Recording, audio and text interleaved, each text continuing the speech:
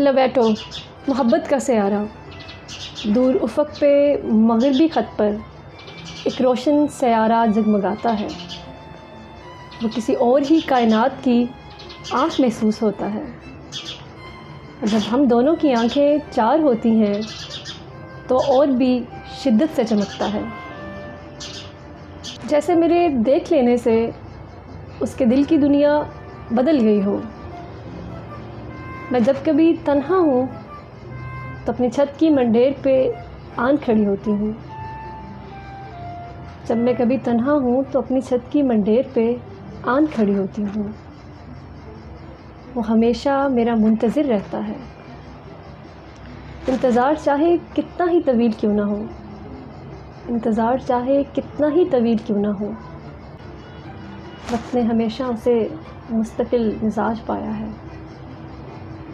कभी जो बादल उसे आन घेरे, कभी जो बादल उसे आन घेरे, और मैं उसे वहाँ ना पाकर परेशान होने लगूँ तो वो बादलों से उलझ कर मुझे अपनी छलक दिखला जाता है। मुझे अपनी मौजूदगी का एहसास पूरे ज़ोर शोर से दिलाता है। वो आसमान की नीली चादर पे सबसे हसीन से आ रहा है। चाँद भी उसकी कशिश के सामने बेबस नज़र आता है। यहाँ तक कि चाँद एक तवील चक्कर काट के उससे मुलाकात करने आता है। मगर वो मेरे दिल का सयारा है। वो मेरे और उसके दरमियान आने वाले चाँद पर, वो मेरे और उसके दरमियान आने वाले चाँद पर फासले की हद लगा देता है। चाँद उसके वसल से महरूम रहता है, क्योंकि मेरा सयारा ये हक सिर्फ़ मुझे देता है।